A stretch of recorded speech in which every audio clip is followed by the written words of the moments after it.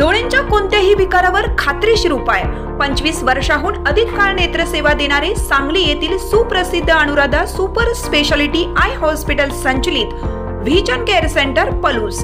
डोळ्यांच्या सर्व तक्रारींवर निदान आणि उपचार येथे केले जातात. दहा वर्षांची अविरत सेवा. पलुसकरांच्या विश्वासास पात्र ठरलेले व्हिजन केअर सेंटर डोळ्यांचा दवाखाना. Nikam tower Palus Tasgaon road Palus. संपर्क त्र्याहत्तर सत्याऐंशी शहात्तर शून्य शून्य एकेचाळीस आणि ब्याण्णव बहात्तर त्रेसष्ट सत्तावीस त्र्याण्णव. देवेंद्र फडणवीसांच्या मुख्यमंत्री पदाचा मार्ग मोकळा. शिंदेनी दावा सोडल्यावर मोठी घडामोड.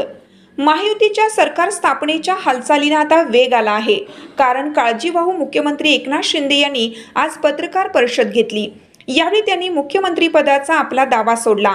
तसेच भाजपच्या मुख्यमंत्र्यांसाठी आपलं समर्थन असल्याचं त्यांनी पत्रकार परिषदेत जाहीर केलं. त्यामुळे आता देवेंद्र फडणवीस यांचा मुख्यमंत्रीपदाचा मार्ग मोकळा झाला आहे. शिंदे म्हणाले काल पंतप्रधान नरेंद्र मोदी यांच्याशी माझं फोनवरून बोलणं झालं.